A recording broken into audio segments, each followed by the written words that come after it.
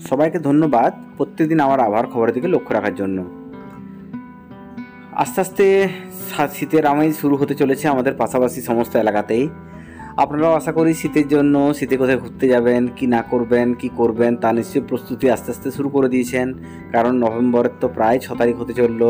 আর তো হয়তো এক মাস, তারপরে হয়তো সবাই পিকনিক বা ঘুরতে যাওয়া শুরু করে দেবেন, কারণ শীত তো প্রায় শুরু হতে চলল। চলুন শুরু করি আগামীকাল আমাদের পার্শ্ববর্তী এলাকার আবহাওয়া কেমন থাকবে? আগামীকাল রবিবার আমাদের পার্শ্ববর্তী এলাকার আবহাওয়া সকাল থেকেই থাকবে একদম মেঘমুক্ত আকাশ, নীল আকাশ একদমই থাকবে, বৃষ্টির কোনো সম্ভাবনা নেই সারাটা দিন, ভালো মতো ঠান্ডা থাকবে কালকেও, আজকে যেমন ঠান্ডা আছে প্রায় একই রকম ঠান্ডা থাকবে কালকেও, রাত্রের টেম্পারেচার মোটামুটি আঠেরো কুড়ি ডিগ্রির মধ্যে ঘোরাফেরা করবে আমাদের পার্শ্ববর্তী সমস্ত এলাকাতেই।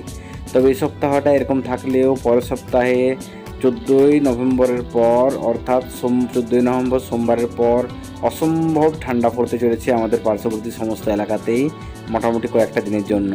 ফলে সবাই শীতের কাপড় বের করে ফেলুন, শীতের বস্ত্র যা আছে আলমারিতে বের করে ফেলুন, আর বেশি দিন নয়, শীত আসতে চলেছে আমাদের পার্শ্ববর্তী সমস্ত এলাকাতেই।